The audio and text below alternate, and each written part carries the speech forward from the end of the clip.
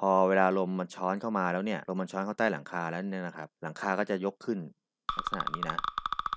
หลังคายกขึ้น ตัวอาเสเนี่ยจะโค้งงี้อาเสตัวนี้จะโค้งงี้นะครับ พอมันโค้งกันแล้วเนี่ย เสาตัวนี้มันจะต้องไปตามอาเสเพราะงั้นเสาจะโค้งเข้าหาตรงนี้ มันจะพับเข้าหากัน ถ้าชอบคลิปวิดีโอของช่างโลดนะครับและไม่อยากพลาดการรับชมอย่าลืมกดติดตามตรงปุ่มแดงๆใต้คลิปนี้นะครับ แล้วถ้าไม่อยากพลาดจริง ๆ กดกระดิ่งไว้ด้วยนะครับ เพื่อจะได้รับการแจ้งเตือนจากช่างโรจน์ทุกครั้งที่ช่างโรจน์ up คลิปใหม่ๆขึ้นมาให้ชมนะครับสวัสดีครับ วันนี้พบกับช่างโรจน์นะครับ ช่างโรจน์ไปเจอกระทู้มาหนึ่งกระทู้นะครับ เป็นเรื่องของหลังคานะครับ หลังคาทรงโมเดิร์นหรือเพิงหมาแหงนนั่นเองนะครับ เจ้าของไปตั้งกระทู้บอกว่าหลังคาบ้านโมเดิร์นทรงนี้มีผลเสียอย่างไรนะครับสั้นๆง่ายๆแค่นี้นะครับ มีคนเข้าไปตอบแล้วนะครับ ต้องการสอบถามว่าบังเอิญมีคนทักว่าหลังคาบ้านทรงนี้ไม่สวยน่าเกลียดมองดูแล้วแปลกๆ ไม่ทราบว่าจริง ๆ แล้วเป็นแบบนั้นจริงไหมครับ และบางคนยังบอกว่าโดนลมแรงๆจะปลิวหลุดทั้งหลังขอความคิดเห็นด้วยครับท่านเจ้าของบ้านก็ส่งรูปมาเป็นรูปนี้นะครับกำลังก่อสร้างอยู่เลยตั้งนั่งร้านเป็นอย่างนี้เขาเรียกนั่งร้านญี่ปุ่นนะครับ เท่าที่สังเกตนะครับ ตัวนี้ยื่นออกมามาเยอะเหมือนกัน น่าจะถ้านับจากแปรไม่ต้องชี้แล้วนะ 1 2 3 4 โอ้แปรไม่ต้องชิ้นเนี่ยยาวไม่เกิน 1 เมตรนะครับปาเข้าไปน่าจะทุ่มทุ่ม3เมตรนะครับเนี่ยเท่าที่สังเกตเนี่ยนะครับแล้วก็มีขาค้ำมาตรงนี้นะ แล้วก็ดึงเข้าหาตัวบ้านนี้นะครับ ตัวนี้เป็นลักษณะเอียงๆนะครับครับมาดูใหญ่ๆอีกทีหนึ่งจันทันตัวนี้วางอยู่บนอาเสนะ อันนี้อาเสนะครับ อาเสก็ตั้งอยู่บนเสานี้อีกทีหนึ่งจันทันกับอาเสเนี่ย จันทันเนี่ยวางบนอาเสอาเสเนี่ยเป็นคาน มาฝากที่หัวเสาตัวนี้อีกทีหนึ่งลักษณะการถ่ายแรงไม่ไม่ตรงนะออกเฉียงๆด้วยนะครับ ถ้าพูดถึงในตามหลักวิศวกรรมเนี่ยมีแรงถีบเข้าทางนี้ด้วย แต่ว่าก็ยังอุตส่าห์ดึงเข้ามาทางนี้อีกอีกทีนึงนะครับเท่าที่ดูนี่ก็น่าจะเหล็กกล่องนะน่าจะกล่อง 75ถึง100นะครับแต่ไม่มีขึงทางนี้นะเอาซูมไปใกล้ๆนะครับเห็นชัดเลยตัวนี้เป็นเหล็กเหล็ก C อะ light lip channel นะครับไม่น่าถึง100 75 ได้น่าจะ 75 พอถ้าเจ้าของบ้านมาบอกว่ามีอีกมุมหนึ่งเท่าที่สังเกตทิศนะ ถ้าไม่ผิดนะ จานดาวเทียม C แบนเนี่ยจะหันไปทางทิศตะวันตกว้าวหมายความว่าหน้าบ้านท่านเจ้าของบ้านเนี่ยหันทางทิศตะวันตก น่าจะนะครับ น่าจะนะครับดาวเอาถ้าอยู่ในที่พื้นที่เปิดโล่งด้วยนะครับทิศเหนืออยู่ทางนี้ครับพอเข้าไปดูในความคิดเห็นนะครับ ก็ความคิดเห็น 2 ความคิดเห็นเนี่ยน่าสนใจนะครับ ความคิดเห็นที่ 2 บอกว่าแล้วแต่คนชอบครับ แบบนี้สมัยก่อนเขาเรียกเพิงหมาแงนปัจจุบัน เขาเรียกโมเดิร์นเขาว่าหลังคาหน้าบ้านใหญ่ไปจริงไหมครับท่านเจ้าของทุกมาตอบนะพอมาความคิดเห็นที่ 11 แบบนี้มีพื้นที่ให้ลมตีด้านล่างใต้หลังคาเยอะมาก หลังคารับลมเต็มๆ ถ้าอยู่แถวภาคอีสานมีปลิวตามลมพายุฤดูแล้งได้ง่ายครับ wow. จะทักแบบนี้เหมือนกัน อ๋อ มีคนมา มีคนมาตอบนะครับ คุณลินลักคุมะ ทีนี้ว่าถ้ากลัวว่าลมจะตีไหม ข้อมูลจากกรมอุตุนะครับเป็นที่ทราบอยู่แล้วว่า หน้าร้อน ลมพัดทางหนึ่งหน้าหนาว ลมพัดทางหนึ่งหน้าร้อนก็พัดมาจากทะเลนะครับ พัดมาเฉียงเฉียงพัดมาจากอันดามัน ก็คือลมตะวันตกเฉียงใต้นะครับ อันนี้หน้าร้อนจะพัดเข้ามาทางนี้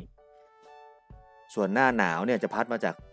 แถบไซบีเรียแถบมองโกเลียนะครับ มาจากทางเหนือก็พัดมาเฉียงเฉียงทางเหนือมาก่อน ก็คือลมตะวันออกเฉียงเหนือนะครับ อันนี้คือมาทางหน้าหนาวนะครับมาดูแผนที่เต็มๆจากกรมอุตุนะครับ อันนี้มาจากเว็บไซต์กรมอุตุก็อยู่ใต้สไลด์เมื่อกี้นะครับ ลมตะวันตกเฉียงใต้เนี่ยเข้ามาทางทะเลทางอันดามันเนี่ยนะครับ อันนี้คือลมลมตะวันตกเฉียงใต้นะครับ ส่วนทางทิศเหนือเนี่ย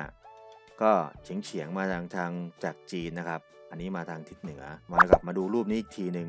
งั้นหมายความว่าถ้าจับทิศทางกันแล้วเนี่ยบ้านท่านเจ้าของกระทู้เนี่ยหันหน้าทางทิศตะวันตกนะครับ ถ้าดูตามทิศลมแล้วเนี่ยทางฤดูฝนเนี่ยลมก็จะเข้าพัดเข้าทางหน้าบ้านนี้นะครับ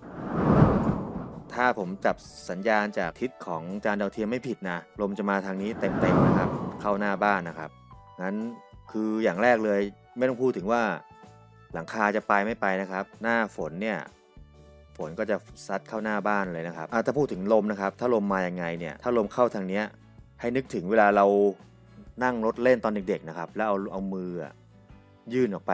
นอกหน้าต่าง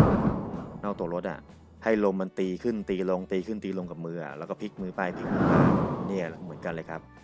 ลมจะช้อนเข้าทางนี้ ก็ให้ระวังไว้นะครับ ลมจะช้อนเข้าที่ใต้หลังคานี่นะครับมาดูใกล้ๆอีกทีหนึ่ง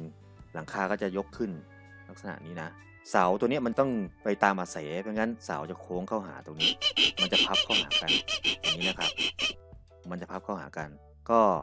ถ้าเกิดลมมันเข้าจริงๆก็มีโอกาสนี้นะครับ ถ้าเกิดท่านเจ้าของกระทุกกังวลนะครับว่า จะมันจะอยู่ไม่อยู่เนี่ย อืม ผมแนะนำงี้ดีกว่า ก็ลองใช้ไปสักฝนหนึ่งก่อนไหม ถ้าเกิดไม่อยากเสี่ยงจริงนะ ก็อาจจะไปเสริมคานตรงนี้เข้าไปอีกตัวหนึ่งนะครับ แล้วตรงนี้ก็ให้ถักเป็นสามเหลี่ยมอย่างนี้ไว้นะครับ แล้วก็หาหาพวกไม้เทียม ไม้เชอร่า ไม้อะไรก็ได้ปิดเอาไว้ตรงนี้ มันก็เป็นอีกวิธีหนึ่งที่จะสามารถบังฝนได้นะ อ่า อันนี้ก็จะแข็งแรงขึ้น ไอ้สามเหลี่ยมเนี่ยก็จะไปช่วยดึงคานอาเสข้างบนนี้ด้วยนะครับครับทีนี้เรามาดูว่าถ้าสมมติท่านเจ้าของบ้านอยากจะเสริมกำลังของหลังคานะครับ แนะนำอย่างนี้นะครับ อาจจะไปถักเป็น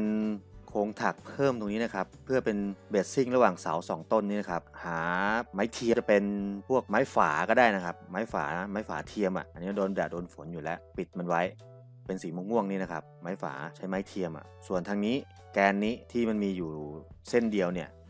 ก็เพิ่มไปอีกเส้นหนึ่งนะครับ เพิ่มเส้นบนไปนะครับ แล้วก็ถักเพิ่ม แล้วก็เหมือนกัน ใช้ไม้เทียมปิดสีม่วงนี่นะครับ ก็ยังคงจะโมเดิร์นได้อยู่นะครับดีซะอีกเป็นบังแดด เป็นเชิงชายไปในตัวนี่นะครับ ครับ โอเคนะครับ คลิปนี้ก็สั้นๆนะครับ ถ้า